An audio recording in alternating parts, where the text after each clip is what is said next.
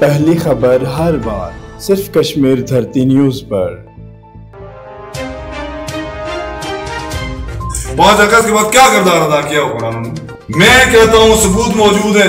जीएसक्यू में बुला के इन्हें बताया गया कि जो कुछ होने जा रहा है, वो हमारी मर्ज़ी से होगा। और तकसीम कश्मीर की बुनियाद, इमरान खान साहब के दौर में रखी गई। और पहले वाले और आज वाले सारे उसका हिस्सा सारे जमात इस्लामी के, आप जैसे चंद सरफिरों के, फारूक हैदर साहब का करदार रहा इसीलिए उन्हें पीछे कर दिया गया, उनको और बात यह है कि यहाँ सर उठा के चलने वाले ने या सिर कपने, नड़ियों तो या गिट्टे कपने, और मैं भी की रपट जरा की मानसा उसी को थोड़ा बहुत जो जा रपट साथ। कि किसी सूरत में वैदत कश्मीर पे आँच नहीं आने किसी सूरत में आज़ाद कश्मीर को सूबा बनाने के घिनौने खेल को आगे नहीं बढ़ने देंगे। डोगरा हुकूमत के खिलाफ ऐलान बगावत के पचहत्तर साल मुकम्मल होने पर रावला कोट में दारुल जहाज़ जिसे सियासी टेकरी के नाम से जाना जाता है, पर तकरीब का इनका किया गया।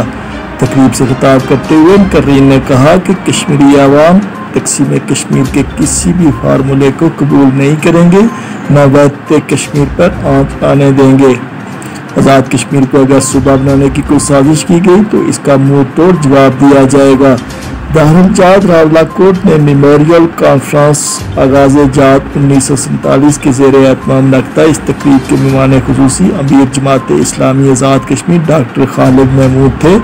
सदर तकरीब सरदार महताब अहमद खान के अलावा सजादा नशीन तोथाम पीर Mohammad Hussain Qadri secretary general, memorial conference Sardar Abdul Khaliq advocate, सबक एडमिनिस्ट्रेटर म्यूनसिपल कॉरपोरेशन सरदार जाकर खान, सबक एडमिनिस्ट्रेटर ज़िला कौंसल सरदार मोहम्मद अरशाद खान, सबक सेक्रेटरी हुकूमत Sardar Javed Ayub general secretary Sudhan educational conference, doctor Ghulam Hussain, सदर ex serviceman society, retired colonel Mustafa Kamal, आरूफ अदीब दानश्वर, professor doctor Mohammad Naseem Khan, अमीर जमात इस्लामी सिटी, रावलाकोट सरदार नजाकत खान तहरीक आज़ादी कश्मीर के मुजाहिदीन, ज़फ़र इकबाल मलोटी, हाजी मोहम्मद सरवर, हाजी मोहम्मद बसरी अंजुमन ताजरान रामला कोर के सबक general secretary Sardar Babar Hussain captain Hussain Khan शहीद के पोते सरदार मोहम्मद अयूब खान सरदार मोहम्मद शरीफ खान सूबेदार मोहम्मद सवार खान सूबेदार रिटायर्ड मोहम्मद आज़म खान और दीगर ने खिताब किया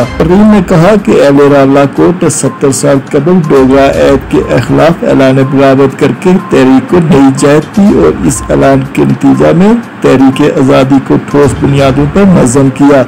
नते अवाम ने डोगरा फौज को इस इलाके से मार भगाया और तक आज़ाद करवा कर एक इनकलाबी हुकूमत की बुनियाद रखी। ताकि कश्मीर की मुकम्मल आज़ादी के लिए जदोजहद को मज़बूत बुनियादों पर इस्तेवार किया जा सके, लेकिन इसके बरक्स इकतदार की जंग ने हमें अपने मकासद से दूर कर दिया। करीम का कहना था कि बाज़ कुत्ते कश्मीरियों के तखश करीम का कहना था कि बाज़ कुत्ते कश्मीरियों के तशखस और खत्ता की तारीख को मशक करने के दर पे हैं। ऐसे हालात में हमें मुक्तदम नजम होकर न सिर्फ़ इन साजिशों का मुकाबला करना होगा, बल्कि मुस्तबिल के लिए हमत अमली भी वाजा करनी होगी। जवान नस्ल को तारीख से आगाह रखने के लिए इकदाम की ज़रूरत है और इस मकसद के लिए एक तहकीकी मरकज का क्याम भी नागजीर है ताकि नौजवानों को ताले के मौके नसर आ सकें। करीन ने अकवा मुतदा से मुतालबा किया कि वो अपना किरदार निभाए और मकबूजा कश्मीर में भारतीय ज़ालम का नोटिस ले ताकि कश्मीरियों को इनका पैदाशी हक मिल सके। तकरीब के आखिर में जून आज़ादी के हवाले से दारजात पर परचम की गई और मुल्क की सलामती आज़ादी कश्मीर दफ़ा और उमत मुसलमान की कामयाबियों के लिए इजमाई दुआ की गई। कश्मीर दर्दी न्यूज़ डालना को। पहली खबर हर बार, सिर्फ़ कश्मीर धरती न्यूज़ पर।